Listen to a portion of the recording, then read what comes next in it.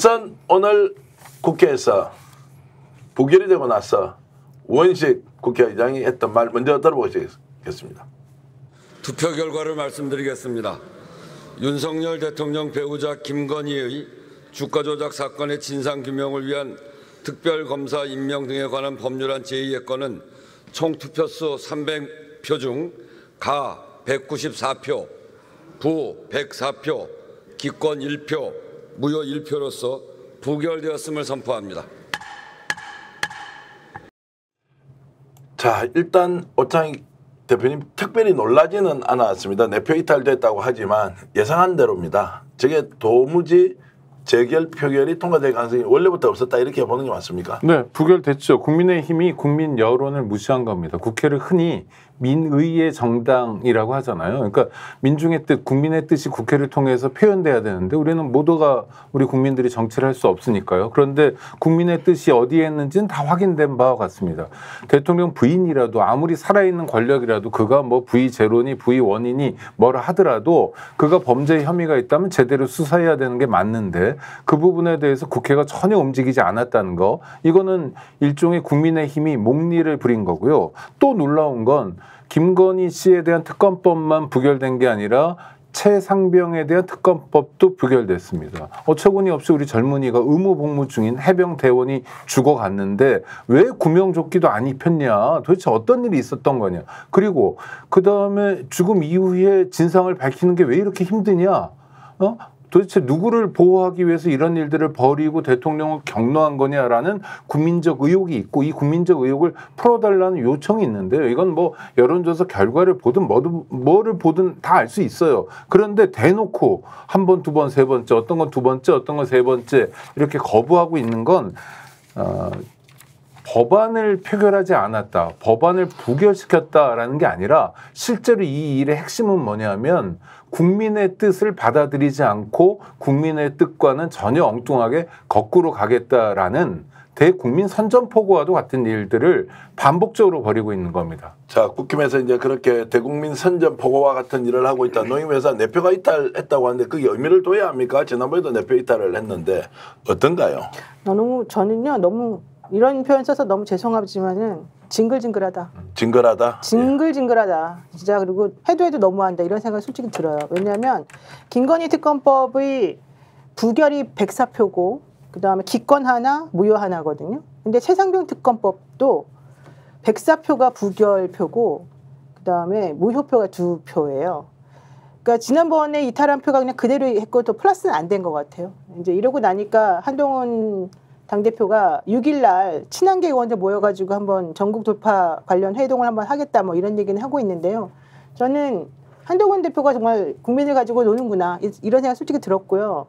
저희들한테 뭐라 그랬습니까? 국민 눈높이에서 본인들이 반성하고 앞으로 잘해나가겠다 하지 않았습니까? 하지만 국민 눈높이가 무엇이었는지는 여론이나 이런 그 결과 같은 걸 보면 다 알겠는데 김건희 특검을 찬성하는 여론이 65%가 넘었었지 않습니까? 그럼에도 불구하고 여전히 백사표를 유지한다는 것 자체는 제가 봤을 때 우, 국민을 우롱한 거다 이런 생각밖에 안 들고 본인이 본인이 제3자 추천안을 해주게 되면 우리도 찬성할 여지가 있다 이렇게 말해놓고 저는 결국 또 그렇게 모든 걸 받아주고 나니까 또 그건 또 아니라는 듯이 입에 싹 씻어버리고 뭐 하자는 건지 제가 잘 모르겠어요. 근데 한동훈이 당내에서 이제 저렇게 하면 설 자리는 생깁니까?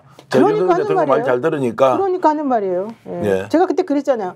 한동훈 대표는 여기서 결단을 내려야 된다. 지금 뭐 하는 거예요? 막 뒷꼬리를 흔, 살랑살랑 흔드는 사람처럼 지금 보여요. 둘이서 좀 싸우려고 하다가 결국에는 또 깨갱깨갱하는 모습밖에 안 보이는 거잖아요.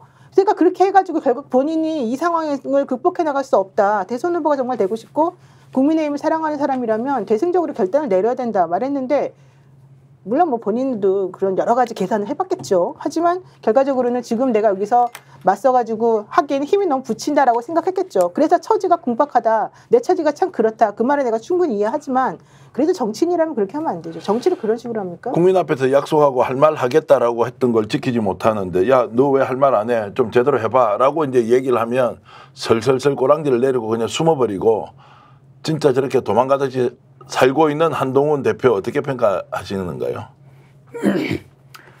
뭐 본인은 뭐 당론과 소신이 뭐 적용된 걸로 그렇게 말하는 것 같아요. 네. 이- 이번 요거를 오늘. 근데 뭐노 변호사님 말씀대로 한동훈의 역할과 위치가 지금 엄청 엄청 중요하거든요. 네. 그 뭐가 중요하냐면 국민들의 마음을 보듬어주고 국민들의 마음을 어, 또 어루만져주는 그런 정치적인 고민을 이 국힘당이 보여줘야 예, 국민들도 이제 모든 거에 있어서 국힘당에 어떤 크레딧을 줄 수가 있는데 지금 국힘당은 전혀 그러질 못하고 이- 있는 것이 자, 그래서 지금 국힘당이 이제 이렇게 가면 다음에 이제 다시 국감 이후에 또 재결 이제 하겠다 이렇게 이제 얘기하지 않습니까? 그러면 이제 내표가 이탈돼 있으니까 오 대표님 그럼 내표 정도 더 나올 수 있다 이렇게 기대해도 됩니까? 아니면 막연하게 그냥 아니 저는 가만히 있으면 변화되는 건 아무것도 없다고 생각해요. 저는 지금 이 순간에 국힘당의 국민의힘의 한동훈 대표가 개과천선해서 갑자기 뭐 국민의 뜻을 뭐 받들어 잡고 이런 이런 일은 없을 거라고 보고요.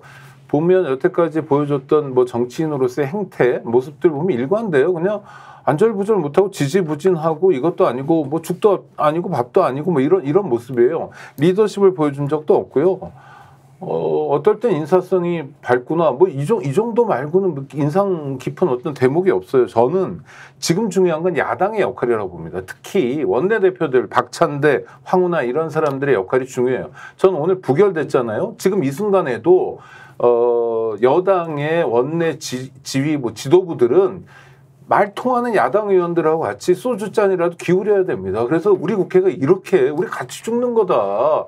아 정말 아니 김건희 씨는 그, 뭐 이것도 꼭 통과돼야 되지만 그렇다고 해도 야 어떻게 최상병까지 그러냐 그 정말 그 어머니한테 우리가 낯이 안 선다. 우리 국회 이러면 안 된다라고 통엄이라도 하고 호소라도 해야 됩니다. 그래서 한 표 한 표라도 보- 벌어와야 되거든요. 근데 야당에서 지금 그런 노력을 하고 있느냐에 대해서 전 의문이 있고요. 야당에서 열심히 하는 건 뭐 금정에서 단일화 하- 하기로 했다, 안 하기로 했다, 또 하기로 했다 이런 얘기는 많이 들려오는데 이 중요한 쌍특검을 통과시키기 위해서 상당한 노력을 기울이고 있다. 예. 얘기는 별로 안 들려와요. 그러니 관성대로 하지 말고 그냥 앉아서 국민의힘만 탓하지 말고 정말 대화가 통할 것 같은 사람들 한 사람 한 사람씩 인간적인 호소를 하다 보면 저는 가능성이 있다고 봅니다. 왜냐하면 무기명 투표기 때문에 아 정말로 국민의힘 의원들은 정말 악, 악당만 있을까요? 전 그렇지 않다고 봅니다. 우리가 눈물로 호소하고 정말 그 그가 가지고 있는 뭐 정의감에도 호소하고 이- 이래야 되고요. 또 하나는 정의감이 없더라도 정의감에 대한 호소가 반복되면 움직일 수도 있습니다. 왜냐하면 그도 국민의 선택을 통해서 살아가야 될 현실 정치인이기 때문에 그렇습니다. 자, 그래서 지금 이제 최재형 목사님 오늘 특별히 모셨지 않습니까? 김건희 특검법 날아갔고요. 뭐 여당이 정말로 똘똘 뭉쳤다 또는 야당이 열심히 노력을 하지 않았다 뭐 이런 평가 다 뒤로 하겠습니다. 자, 김건희 특검법 부결됐고 그리고 검찰에서도 무혐의 결정했고 어, 좀 심하게 말씀드리겠습니다. 등달아서 최 목사님도 이제 그렇게 고초를 당하다가 이 부분에서 무혐의를 받았습니다. 그런데 서울의 소리는 항고를 또 예고하고 있습니다. 어찌됐든 이제 이 문제에 대해서 검찰이 저런 방식으로 무혐의 결론을 내렸다는 것에 대해서 오늘 상당히 좀 격하게 말씀을 하시던데 그렇죠. 뭐 이제 원래는 뭐 제가 불기소 처분을 받니 기소를 당, 뭐 받으니 뭐 이런 처분 결과를 나는 그 중요하게 여기지는 않고 어, 김건희 씨는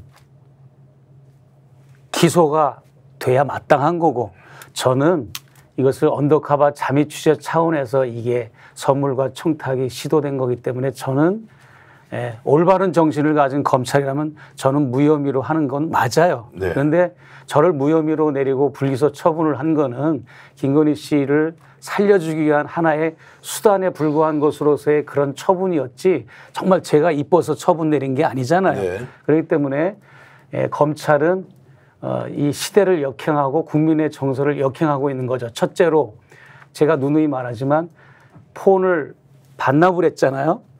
폰을 반납할 게 아니라 폰을 오히려 여사 폰을 압수수색을 해야 돼, 이 압류를 해야 될 그런 검찰이 거꾸로 폰을 반납을 하는 이런 역설의 현상. 그리고 지금 김건희 씨와 그 문고리 4인방의 핸드폰이나 컴퓨터를 압수수색하고 경호처를 압수수색하고 그다음에 과거 아크로비스타와 커버넷 컨텐츠의 CCTV나 이런 출입자 명부를 압수수색하면 2년 반 동안 누가 왔다 가고 누가 뇌물성 선물을 주고 누가 청탁을 하고 민원을 했고 그런 것이 다 이제 예, 입증이 되고 그런 어, 예, 또 수사를 방점을 둬야 되는데 이건 뭐 김건희 씨를 변호하기에 극복한 검찰이기 때문에 저는 요 어, 김건희 특검을 굉장히 기대했는데 기대를 해- 한 이유가 뭐냐면 어, 특검이 되면 새로운 아주 원점에서 다시 이것을 제가 협력을 해서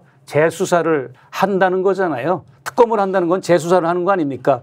그래서 이제 명명백백하게 저는 어, 검찰, 저는 불량한 검찰이 아닌 특검 임명을 받은 분들을 어, 제가 협력을 해서 진상규명을 할 각오와 결심을 했는데 오늘 이렇게 부결돼 가지고 상당히 아쉽습니다. 자 특검을 이제 하게 되면 네. 실제로 현재까지 공개하지 않았던 다른 자료 이런 걸 목사님 좀 더 갖고 계시죠?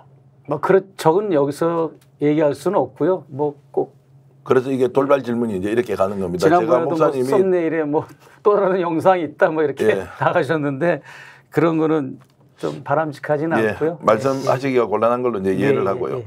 노임 여사 이렇게 이제 검찰이 이런 모습의 검찰인데 자 윤석열 대통령 용산과 국힘에서는 검찰 수사 끝까지 지켜보자.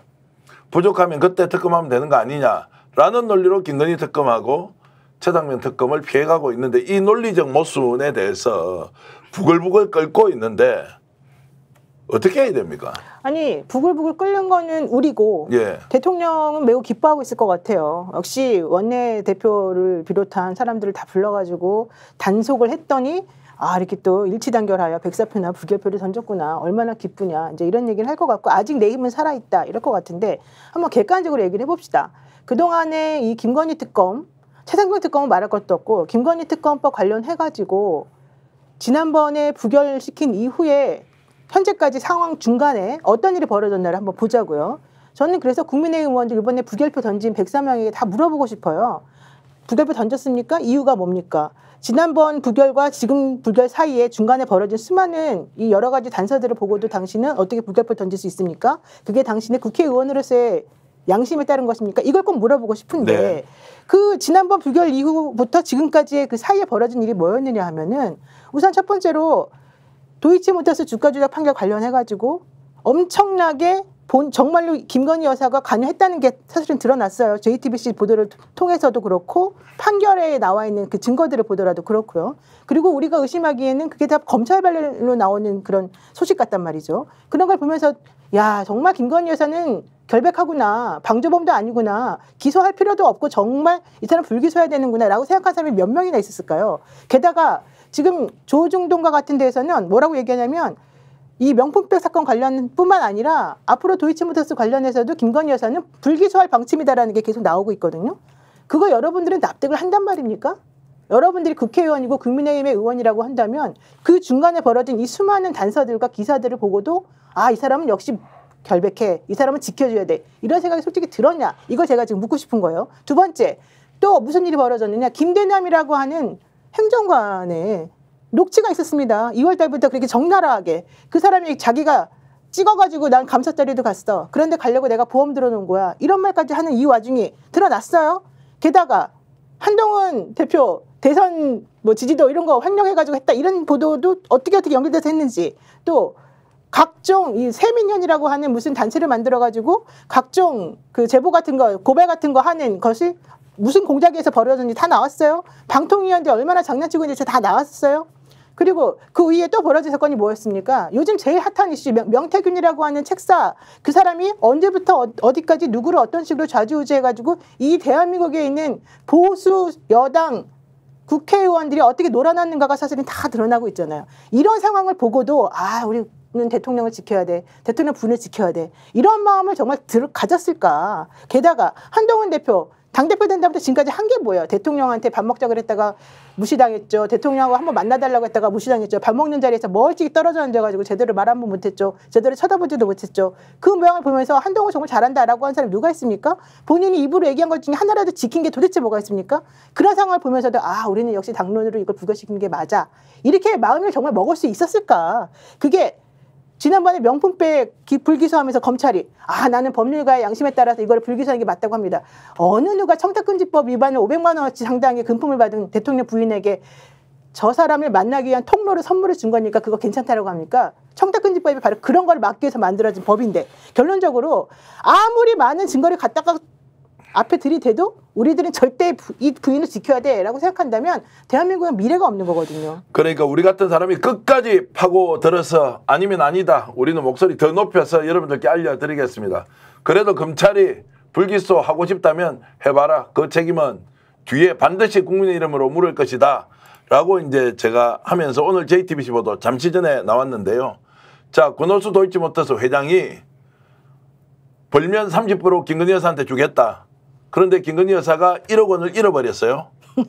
그러니까 항의 전화를 했다는 것이 검찰 수사 과정에서 이 씨가 나왔고 그리고 그것을 오늘 JTBC가 단독 보도했습니다. 그렇게 명백한 사실이 수사 과정에서 드러났는데도 이 검찰은 김건희 불기소한다. 아니 내내 검찰총장이 뭐라고 그랬냐면 국민들에게 말씀드리기를 도이치모터 사건 공범들의 항소심 결과를 보면 세밀하게 살펴서 처리를 하겠다 그랬어요. 항소심 결과가 나왔고요. 김건희 씨가 굉장히 중요한 역할을 했고 그 범죄 수익을 얻었다라는 게 확인되고 있는 겁니다. 그러면 네. 어떻게 하냐면 기소해야 되는 거예요. 근데 노 변호사도 인용해 주신 것처럼 검사들이 법률가의 양심에 따랐다라고 그래요. 요번에 저백 사건만 하더라도 그래서 저, 저는 기소 불기소도 문제지만 아니 이게 공무원들이 겁이 없어도 유분 시 유분수지 양심이란 단어 자체를 모독하고 있는 거예요. 저는 이게 공동체 근간을 흔드는 일이라고 생각합니다. 관련해서요. 이를테면 그 우리 공동체가 손바닥에 왕자 써놓고도 어, 대통령이 되면 다 되는 거야. 그러니까 중간에 뭐 수단이나 뭐 과정이 어떻든 간에 목적만 어떻게 자기가 얻고 싶은 거 얻으면 다야라는 경향들이 윤석열 김건희 부부를 통해 더, 더 확장되는 것 같아요. 그때도 요새도 며칠 전에 논란이 됐지만 윤석열 당시 대통령 후보가 뭐라고 그랬습니까? 어? 아, 우리 와이프는 말이야 신앙이 깊어서 구약 성경을 다 외운다고.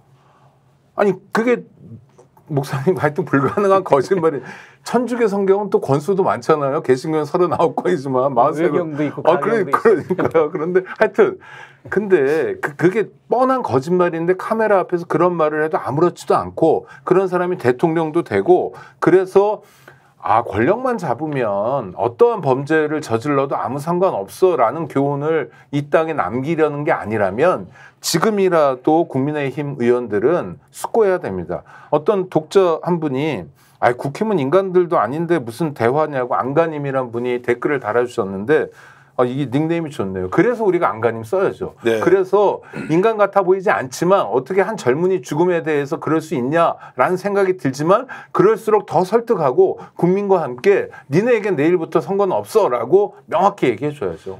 자, 그래서 이런 문제 제기를 하는 사람이 다 전체주의 세력이고 반국가 세력으로 보입니까? 혹시 보수적 성향을 가진 시청자 여러분, 이 문제 제기가 도이치모터스 주가 조작과 관련된 김건희 여사의 범죄 혐의에 대해서 제대로 수사하라 라고 하면 그때부터 반국가 세력이 됩니까? 종북 좌파처럼 보입니까?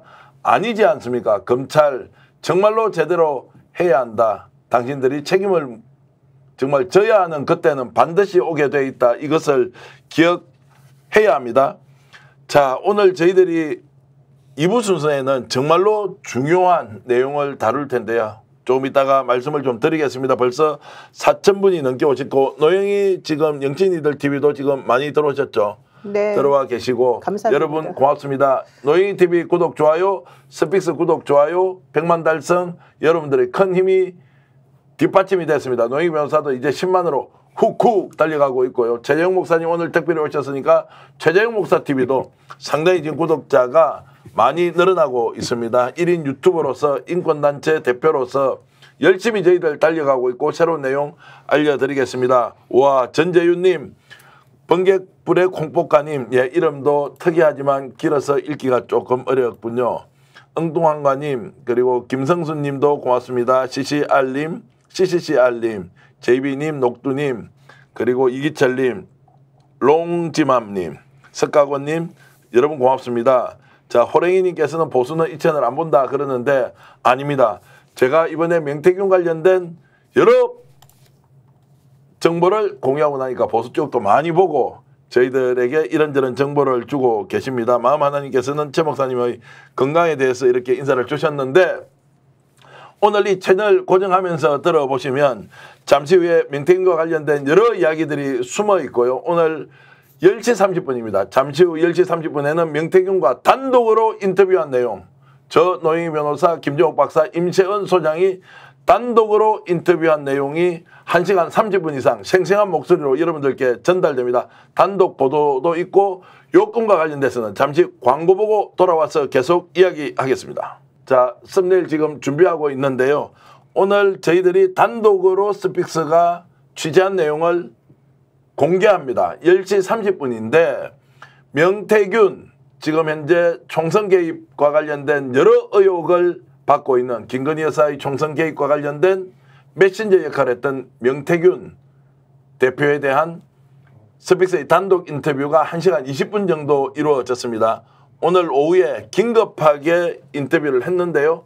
새로운 내용들도 좀 나오고 있고 기존에 했던 발언이 그대로 또 반복되기도 하는데 노임 여사가 그 인터뷰에 직접 참여하셨는데 오늘 명태균 대표하고 직접 전화 통화를 해보시니까 어떤 느낌이 들었습니까?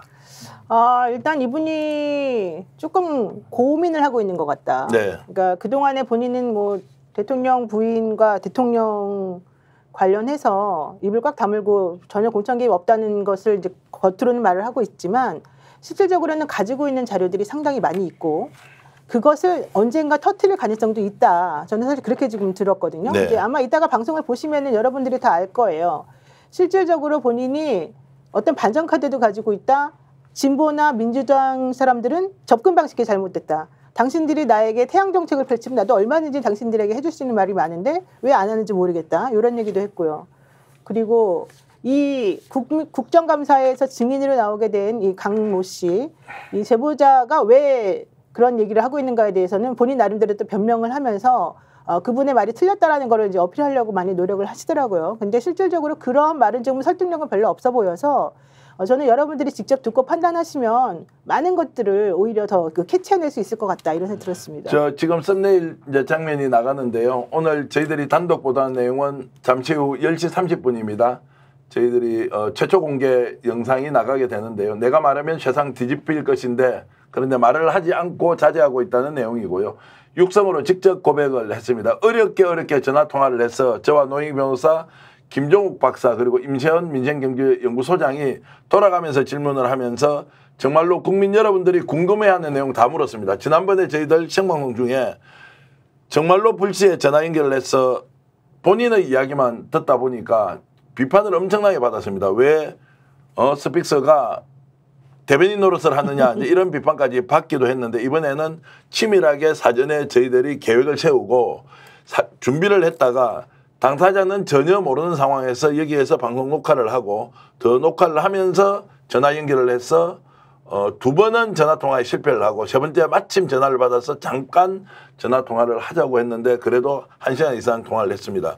자 본인이 뭔가 할 이야기가 있어서 저희들 같은 매체와 계속 연결을 짓고 있지 않습니까? 그런 부분은 지금 오 대표님 어떻게 보세요? 전문 용어로 하면 간을 보는 것 같아요. 네. 그러니까 이, 이분은 뭐 저는 모르는 분인데 자료 정리를 잘하는 사람인 것 같긴 해요.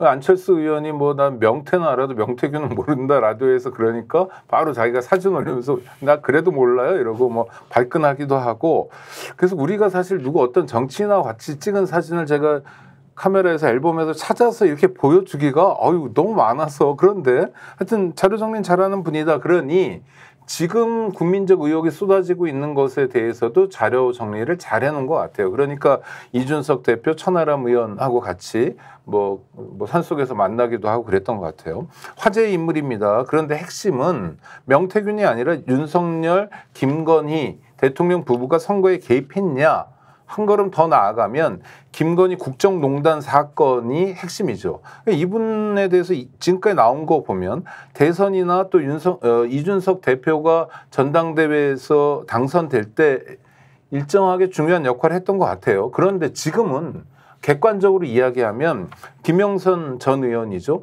오선 의원 공천도 해결하거나 제대로 챙기지 못하는 맹탕이 돼버렸다는 생각이 듭니다. 그리고 여러 언론을 간을 보듯이 접촉해요. 그 뭐 몇 군데 나왔습니다. 어, 그리고는 엉뚱한 소리만 해요. 그러니까 지금 중요한 거는 밝힐 것은 밝히고 그리고 사실 명태균이라는 사람의 역할이라는 게 우리 정치가 정상화 되지 못해서 생긴 측면도 있어요. 이게 오해라면 본인의 육성으로 밝혔으면 좋겠습니다. 왜냐하면 김영선 의원과 세비를 나눠 가졌다.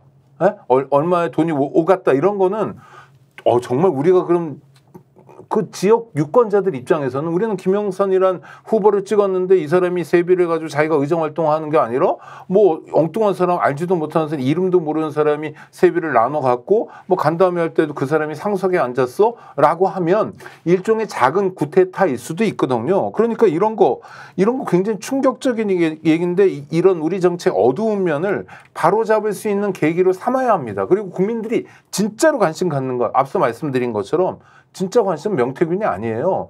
김건희 씨가 정말 예전에 박근혜 때 있었던 것처럼 국정농단을 대놓고 했냐 아니냐에 대해서 지금이라도 정확히 이야기해야죠. 간볼 때 아니라고 봅니다. 자 외부에서 이렇게 개인이 사인이 큰 영향력을 행사하면서 윤석열 대통령 부부와 지속적으로 교류를 해왔다. 그런데 진실을 이야기하라고 하니까 얘기를 하지 않고 극히 제한적인 내용만 이제 논쟁에는 이렇게 노출이 되지만 실질적인 내용은 여전히 감추고 있다. 이제 이런 거를 보면은 목사님 어떤 느낌이 드시나요? 글쎄요, 제, 제 디올백 사건하고 우리 명태균 이 사건하고 대조를 대비를 한번 제가 예. 해봤어요. 근데 결국은 뭔가는 이렇게 숨기거나 아니면 좀 나중에 좀 이걸 드러내야 되겠다라고 하는 것 이것이 크게 유익은 못 되고 우리 저기 오 국장님 말씀하신 대로 예, 공공의 영역에서 대의적인 측면에서 내가 손해를 보고 내가 불이익을 당하고 내가 명예가 훼손돼도 밝힐 것은 빨리 밝혀야 되고 또 드러낼 것은 빨리 드러내고 폭로해야 될 부분은 빨리 폭로해야 된다라고 저는 이렇게 조언을 드리고 싶고요. 네. 저는 이분을 보는 관점이 긍정적인 부분이 좀 더 많았어요. 사실은 왜냐하면 대한민국이라고 하는 이 특수한 정치 지형도 이 판도에서 이분이 어떤 책사 노릇 대통령과 국회의원들을 이 킹메이커 역할하는 그런 책사 노릇 하면서 그래도 윤석열 정권 하에서는 정치 판도 정치 구도, 정치 지형을 어, 어느 정도 바꾼 역할을 하지 않았나. 네. 뭐 자기는 이제 그림자 역할로 보이지 않게 뭐 이제 이준석 윤윤 그 후보의 그런 치맥 회동부터 본인의 단위 어 이런 작품이고 단위라도 제 작품이고 뭐 이렇게 본인의 어떤 그동안의 성과를 여러 번 이제 언론에 비추셨는데 어찌됐든 이분의 긍정과 부정은 다 드러날 겁니다. 네. 드러나지만 우리 어, 전 대표님이 예, 우리 그 계속해서 이분하고 컨택을 하면서 어떻게 보면 제 입장에서 보는 겁니다. 제 입장에서 볼 땐 어떨 때는 구슬리기도 하시고 어떤 때는 설득도 하고 어떤 때는 또 뭐 여러 가지로 이제 그 이제 끈을 놓지 않으시려고 애를 쓰시는데 그거는 참 좋은 거라고 봐요. 왜- 왜냐하면 누군가는 이렇게 그분의 말을 끄집어낼 수 있는 창구가 있어야 되니까. 그러나 이제 너무 이제 그분에 대한 그 저자세라든지 네. 그런 부분만 좀 지양해 주시면 네 충분히 좋은 언론의 그분과 관련된 그 기능 창구를 스픽스가 잘 할 걸로 저는 보고 있습니다. 뭐 좋은 말씀 예. 감사히 잘 받아들이고요. 지금 댓글로도 의견 주시는데 오늘 로잉 변호사가 인터뷰했다니까 천만 다행이다 이런 얘기가 올라옵니다. 정기환 대표 그때 인터뷰하다 용 배부르게 먹었죠 이런 이야기도 올라오고요. 노인 변호사 오늘 인터뷰 이제 길게 했는데 긴장하면서 자 어떤 점이 좀 기억에 남는 이제 좀 우리 시청자 여러분께 좀 공개를 해주시죠. 근데 사실 저는 그분 이 예를 들면 명확한 사람이고 명쾌한 사람이면 내가 당신한테 A 했습니까 B 했습니까 물어보면 A 혹은 B 이렇게 대답하는 게 맞는데 그렇게 대답한 적이 한 번도 없는 거예요.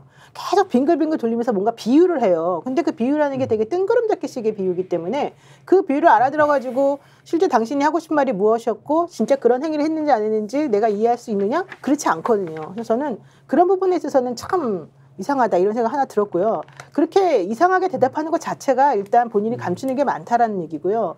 왜냐하면 아까 이제 오창익 그 사무국장님은 기본적으로 되게 좋게 표현을 하시더라고요. 뭐 준비를 잘했던 것 같다 이런 식으로 뭔가 아, 자료 정리를 자료 정리 잘하는데 잘하는 사람 언론에. 대해서는 예. 간만 보고 있다. 근데 자료 정리라고 하는 게 결과적으로는 자기 살기 위한 증거들을 다 차곡차곡 모아놨다는 그 얘기거든요. 그렇죠. 그러니까 예를 들면은 안철수 의원이 명태밖에 모른다 이러니까 딱 안철수하고 찍은 사진을 탁 올리잖아요. 그러니까 그런 식으로 뭐든지 자기가 접촉했던 어떤 사람과의 연결고리 같은 것이 있거나 그 상대방이 뭔가 잘못했거나 문제가 될 만한 건이 있으면 그거는 저는 그분이 다 모아서 가지고 있을 네. 것 같아요. 그러니까 지난번에 통화 녹취록 나온 거에도 내가 다 불어버린다, 어, 내가 다 그 뭐 얘기한다, 협박했다 이런 얘기가 자연스럽게 나오잖아요. 물론 이번에 인터뷰할 때는 본인이 그렇게 말한 거는 과장된 것이었고 실제 그런 게 아니었다는 식으로 얘기를 하고 있지만 저는 그 말은 다 거짓말이고 실제 이분이 가지고 있는 자료가 너무너무 많을 거라고 네. 보거든요.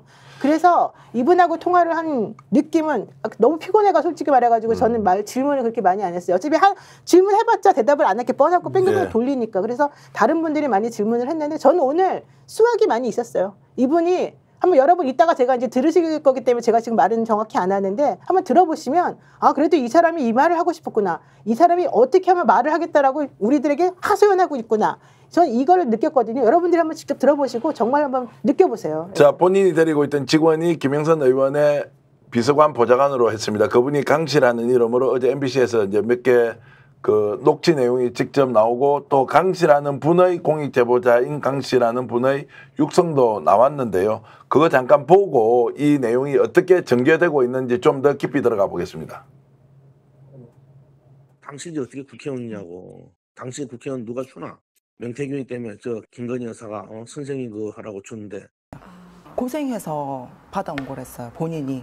김건희 여사가 어떤 대가로 해서 어떤 뭐 경로로 해서 받았다는 그런 얘기는 못 들었고. 혹시 그니까 김 여사가 그렇게 말을 했다. 네네. 그 음성 자체가 김 여사 음성이었어요. 직접. 윤도 만났고 김 여사도 만났고.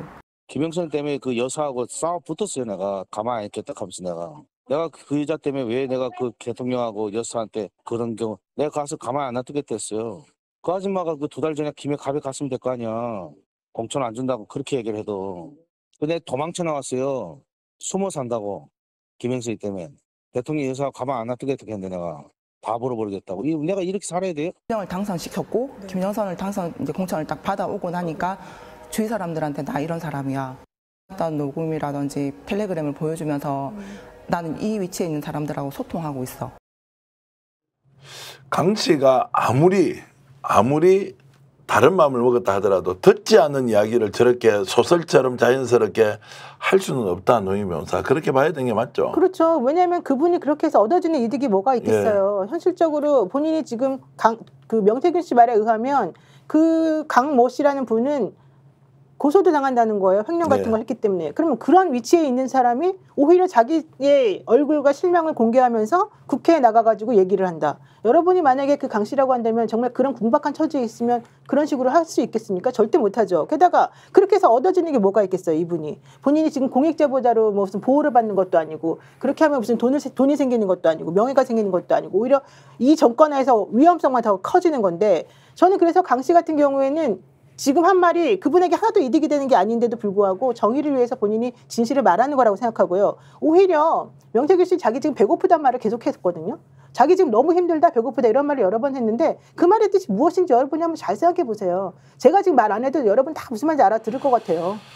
자 그런 부분도 그리고 강 오늘, 씨는 예. 지금 혼자 자기 주장을 한 게 아니라 명태균 씨의 목소리를 우리에게 들려줬잖아요. 네. 그럼요. 그러, 그러니까 이거는 김건희 국정농단 사건의 핵심 열쇠가 되거든요. 네. 그러니까 정직하게 밝혀야 된다는 거고요. 우리가 지금 명태균의 입만 바라보고 있을 수는 없습니다. 그렇게 되면 본질과 비본질이 섞여 버리고요. 비본질이 본질을 덮어버립니다. 목사님 케이스기 때문에 그냥 조금 말씀하시고 말았지만 아니 나 처벌 받겠다. 기소해라. 난 이런 이런 범죄를 저질렀다 라고 고백하고 이야기하시잖아요. 뭐 뭐 취재 기법이 마음에 안 들 수는 있지만 난 이런 이런 목표였고 그러니까 이분은 어떤 죄송합니다. 바로 앞에서 시종 같아요.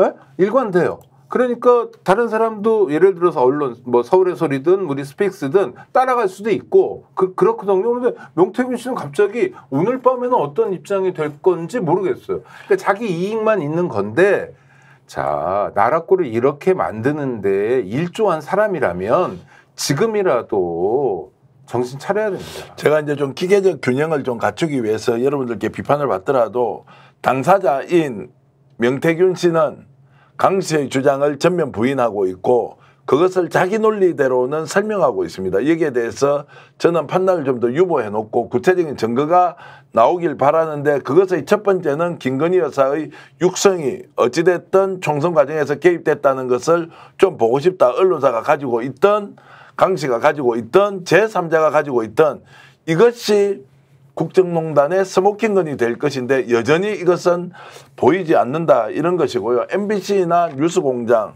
뭐 심지어 저희들에 대해서도 취재의 방식, 내용 자신이 설명한 것을 필요한 것만 잘라서 쓰니까 내가 사기꾼이나 살인자처럼 되는데 전체적인 맥락을 다 들어봐라. 이러면서 저희들은 아예 가감 없이 그대로 한번 담았으니까 여러분 들어보시면 들어보시면 아 이런 내용이구나라고 판단하게끔 정말 억지로 말씀드리겠습니다. 기계적 균형을 좀 맞춰서 내놓는 것이니 한번 우리가 판단해보자는 아니, 것이고요. 그리고 이거- 어떤 사람이 한 시간 반쯤 이야기하면 아무리 말을 잘하는 사람도 의도하지 않게 진실에 접근하는 경우가 있어요. 네. 또는 진실이 뭔지 일단을 보여주게 되는데 지금 스포가 될까봐 노 변호사님 말씀을 안 하시는데 중요한 걸 몇 개 건졌다고 그랬거든요. 네, 건졌어요. 예. 진짜. 어, 그, 그건 되게 중요한 겁니다. 우상민 님이 이, 이 말이 제일 정확한 것 같아요. 명태균 씨는 이런 사람이다. 뭐다? 모나미 펜 얼마입니까? 라고 물어보면 명태균 씨의 답은 모나미 펜은요. 모나미라는 회사에서 만들었고요. 다른 펜보다는 가격이 싸고요. 잉크는 최고급을 썼고요. 어쩌고 저쩌고 이렇게 말할 겁니다. 아니 그래서 노영희가 아니 그래서 얼마냐고요? 또 다시 물어보면 결국 또 딴소리 하면서 답을 안 할 겁니다. 이게 오늘 사실 인터뷰. 모, 모나미는 프랑스어예요. 그러니까 목남인데 원칙적으로는 그렇게 아니 너무 정확히 보셨어요. 이분이. 그런 말씀 보면 김건희 여사 윤석열 대통령과 특별한 관계에 있었다는 거 부인하지 않고 있고요. 또 일곱 개의 파도가 오는데 그 중에 세 개 정도는 지났고 네 개, 다섯 개, 여섯 개는 예상할 수 있는데 마지막 파도 하나는 자신도 가지고 있다 라는 것처럼 저희들 인터뷰 말미에 얘기를 합니다. 그래서 우리를 만나는 이유 그리고 일정하게 정보를 공유하는 것 이런 것 저런 것 다 설명합니다. 그리고 용산 대통령실과는 관계가 지금 현재는 없다. 그러나 공직기관 비서관실에서 사람이 나온 것은 맞다. 이번 인터뷰에는 없지만 제가 지난번에 3시간 반 동안 인터뷰한 내용에는 담겨 있는데 오늘 그것도 공개할까요?라고 하니까 그거는 좀 공개를 하지 않았으면 좋겠다고 해서 일단 취재원 보호 차원에서 오늘 서로 확인된 것만 1시간 20분짜리 여러분들께 공개를 해드리는 거고요.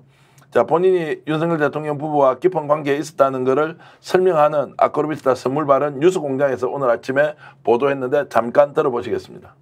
선거 전략가로 알려진 명 씨는 대선에서 윤석열 대통령을 도와 당선되면 김건희 여사가 보답을 약속했다는 취지로 말했습니다. 뭘 주면 돼요? 아크로비스타 주스. 그 여사가 정말 대단한 분이에요. 내가 우리가 뭘 해도? 아크로비스타 주스. 노임 변호사 오늘 인터뷰 내내 이제 김건희 여사와 특별한 관계에 대해서 계속 질문을 했는데도 그 부분에 대해서는 김건희 여사가 총선 과정에 개입한 게 없다, 없다, 없다 라고 이제 얘기를 했어. 그러면 우리가 뭘 하고 있는 거지? 그걸 물어보고 싶었는데 결국 그것까지는 미치지 못했습니다. 그러니까 본인이 대선 때까지는 되게 친했다는 걸 계속 강조를 하고 있고 그렇지만 총선에는 개입하지 않은 것처럼 얘기를 해요. 2022년 보궐선거에서는 또 그럼에도 불구하고 본인의 영향력이 엄청났다는 걸 얘기하고 그러니까 말이 사실 좀 앞뒤가 안 맞는 부분이 확실히 있어요. 그런데 결론적으로 본인이 검찰 조사를 받고 있다는 것에 대해서 엄청 신경을 많이 쓰고 있고요. 그것 때문에 어떻게 될지 모른다라고 하는 좀 걱정도 하면서 대신에 내가 그걸 막기 위한 나만의 비장의 카드를 가지고 있다. 아, 그리고 당신들이 나에게 새로운 접근법을 사용해서 한다면 나도 역시 당신들에게 뭔가 좀 도움을 줄 수 있다. 이런 얘기를 계속해서 이제 했지요. 어, 그런 것들을 보게 되면 현실적으로 이 사람이 지금 처해 있는 상황이 어떤지 우리가 분명히 알 수가 있고요. 이제 더 중요한 거는 대통령실이나 용산에서 이 명태균이라고 하는 사람의 성격을 알아가지고 아마도 지금 걱정을 하나도 안 하고 있는 것 같은데 제가 보기엔 오히려 그것이 더 함정일 수도 있겠다. 오히려 이게 지금 강하게 이런 상황이 좀 지속이 되다 보면 본인 스스로가 못 견디고 터트려 버릴 수도 있다 이런 생각이 제가 좀 솔직히 했습니다. 자, 그래서 저는 이제 구속영장을 청구한다거나 실제로 인신구속이 이루어지기 전에 뭔가 큰 것이 나올 수 있는데, 자, 제가 질문을 이렇게 했죠. 검찰 구속 수사에 대한 대비를 하느냐 또는 어떠냐는 것에 대해서는 뭐 제가 이걸 어떻게 압니까? 라고 이제 얘기를 해서 자, 그 경우에는 뭔가 새로운 게 나올 수도 있지 않겠느냐 이제 생각을 했습니다. 그 우리 대본에 보면 노영희 변호사님 직함이 민주당 검찰 독재 대책위원회 대변인인데 정말 반가운 직함입니다. 예. 왜냐하면 검찰 얘기를 하려고 그러는 거예요. 이 예. 사람들이 하나부터 열까지 다 이렇게 낍니다. 지금 명태균 씨 사건의 핵심은 뭐냐면 대통령 부인이 국정농단을 했냐 안 했냐 선거에 얼마만큼 개입했냐는 거잖아요. 네. 근데 엉뚱하게 물꼬를 틀어가지고 검찰과 경찰이 명태균 씨를 사법적으로 압박하는 겁니다. 그러니까 너 말하면 많이 많이 죽을 것 같아. 우리가 어제 또 밤늦게까지 그 박 검사에 대한 탄핵소추 어, 청문회를 봤잖아요. 검사. 어, 그 저는 이화영 씨를 이렇게 보, 보면서 느껴지는 게 어, 저분이 만약 검찰에서 원하는 대로 해줬으면 벌써 석방돼 가지고 쌍방울 사옥 옥상에서 맛있는 것도 먹고 뭐 연어든 뭐든 양주도 마시고 이러고 다닐 텐데 그거 안 해가지고 2년째 이러고 있는데 그러니까 완전히 지금 모든 사안을 틀어버리는 정말 최대 암적 존재가 검찰이라는 것을 이 사건도 저 사건 도 우리가 말하는 거에 다 공통점이에요. 근데 노 변호사님이 어 검찰 독재 대책이 대변인 기대하겠습니다. 활약을. 어, 이번에 나 너무 명- 반가워. 명품백과 관련된 사건이 터지기 전까지 최 목사님은 실제 대한민국 검찰이 이런 정도의 흉폭한 조직이었다라고 생각은 해 보셨나요? 전혀 못했죠. 전혀 못했다. 예, 저는 뭐 미국에서고 한국에서고 지금까지 경찰서 한 번도 가본 적이 없어요. 정말 국가보안법 조사 받을 때 외에는 근데 이제 막상 이렇게 경찰 조사 거치고 검찰 조사를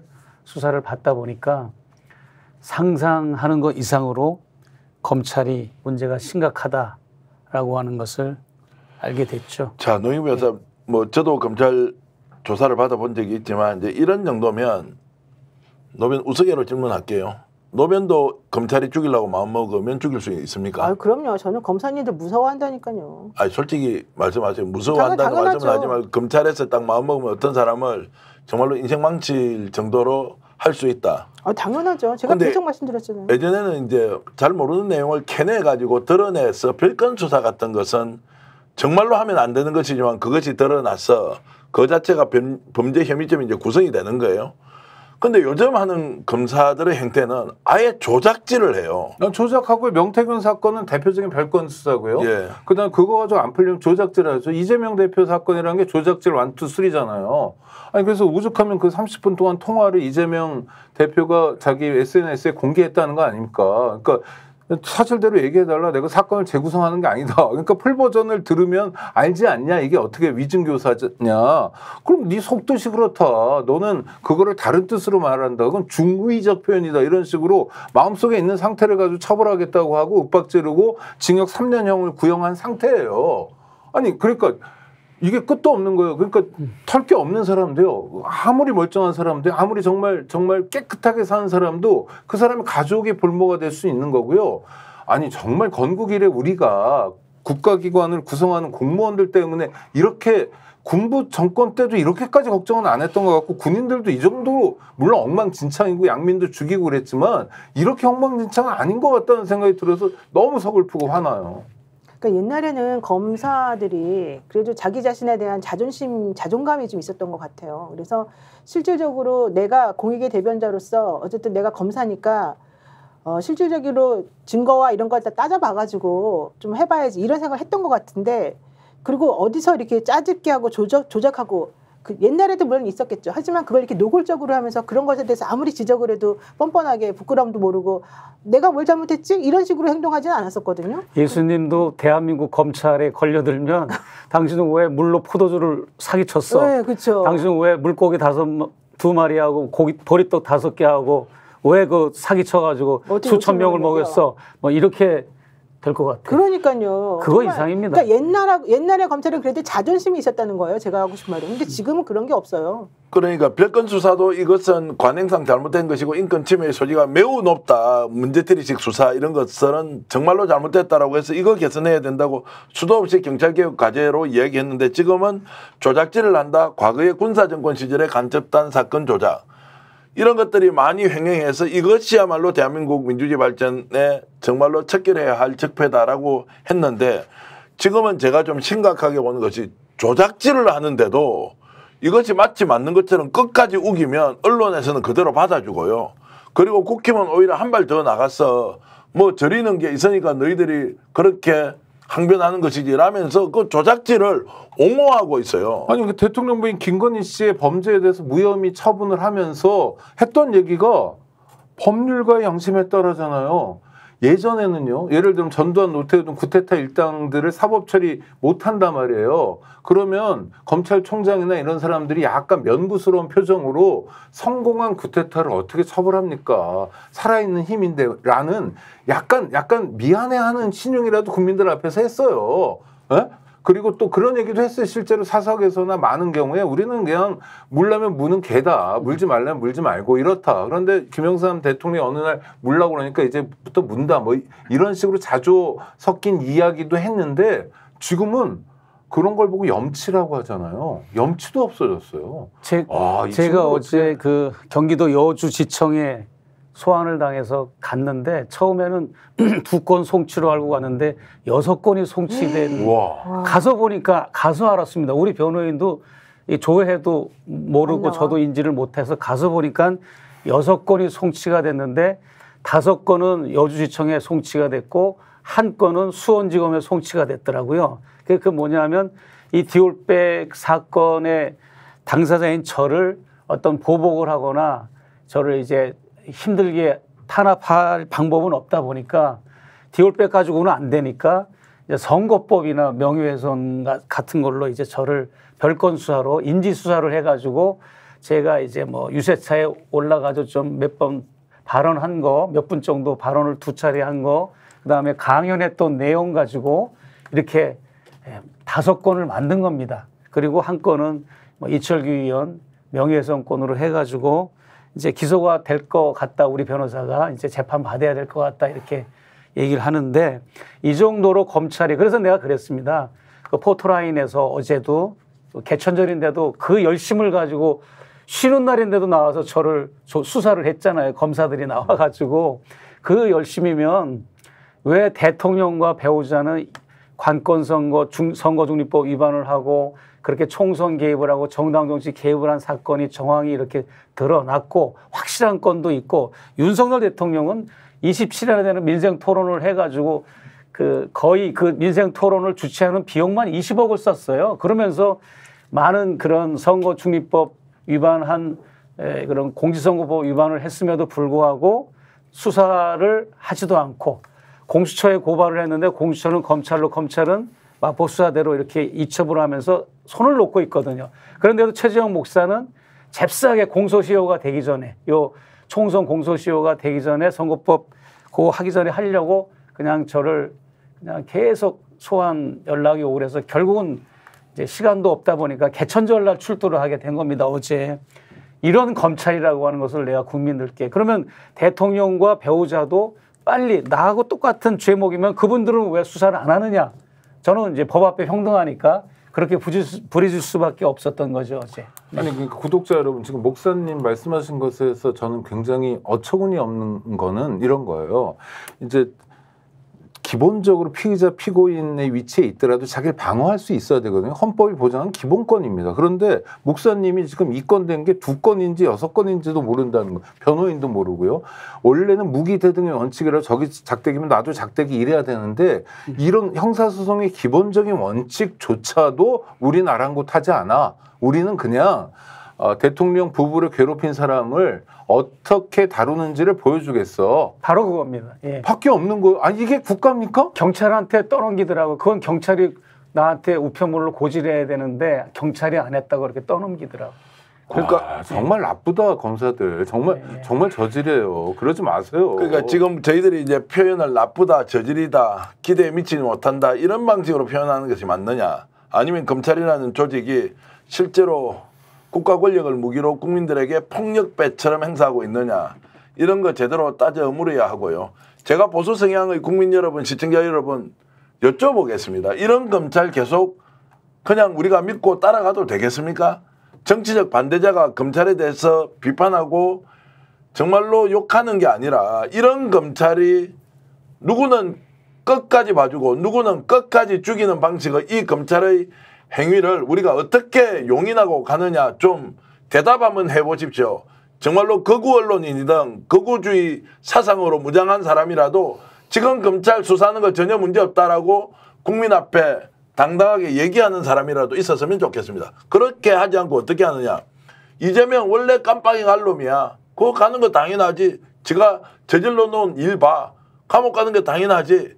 이렇게 하면서 검찰의 수사 관행 그 내용에 대해서는 한마디도 비판하지 않고 그 사람의 태도 정치적으로 처해 있는 상황만 가지고 감옥에 쳐넣으면 돼. 라는 논리 이상으로 하지 않는 것이 언론이냐. 아니면 양심적인 지식인이냐. 아니면 보수 성향의 국민이 이렇게 해도 되느냐라고 제가 질문을 던지고 싶은 거죠. 아니, 그러니까 옛날에 함석헌 선생님이 정말 피토하는 심정으로 하셨던 말씀이 생각하는 백성이라야 산다. 그건 그냥 진영 놀리고 생각이 없음의 상태잖아요. 그러니까 문재인, 이재명 그래서 적- 정치적으로 적대시하는 사람들이 왜 감옥에 안 갔냐? 지금 감옥 가는 건데 그 혐의가 뭔지 이런 거 아무것도 중요 중요하지 않고요. 예단만 있는 거예요. 그런데 제가 계속 말씀드리고 싶은 건 지금은 이재명이지만 또 정권 바뀌잖아요. 그러면은 홍준표도 되고 오세훈도 되고 다 돼요. 한동훈도 되고.